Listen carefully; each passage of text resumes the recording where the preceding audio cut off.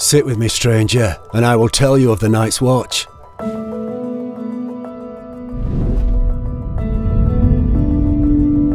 For 8,000 years, its men have guarded the wall. From cold black castles, they kept watch over the wild north. And when they had to, they rode into the lands beyond, no matter what awaited them. Long and far did they range. At the wall, every Lord Commander knew the quiet dread of dark wings, for every raven brought word of an expedition's fate. Yet still they awaited, day and night.